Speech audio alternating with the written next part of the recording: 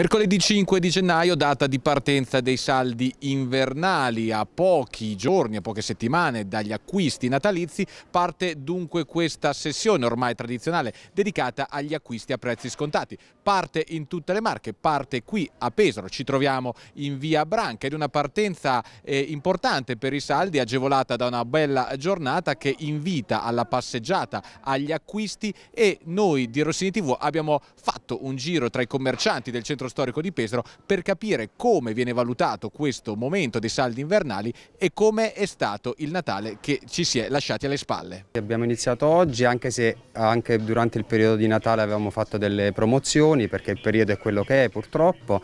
Siamo partiti diciamo oggi il primo giorno abbastanza bene, abbiamo sconti fino al 50%, il nostro prodotto comunque è un, un prodotto abbastanza medio-basso come tipologia di, di prezzo, però di qualità.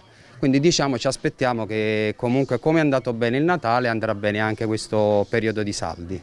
Dovrebbe essere un momento di pieno incasso, ma non è così, quest'anno è un po' in calo.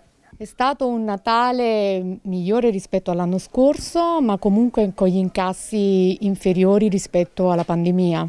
Affrontiamo questi saldi con il 50% sull'abbigliamento e il 30% sulla calzatura, quindi un ottimo affare insomma, da fare. Gli acquisti vanno tutelati sempre e noi abbiamo una nostra clientela storica che comunque viene curata anche in questo senso.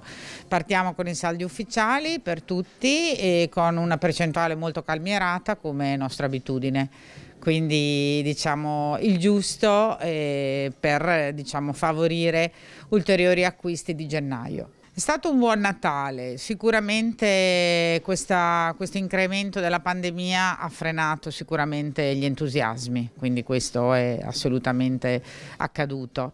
Però c'è sempre diciamo, la voglia anche di acquistare qualcosa di nuovo per gratificarsi, quindi è una cosa anche a livello proprio personale per uscire mentalmente da questo bailam mentale, mediatico relativo sempre comunque alla pandemia.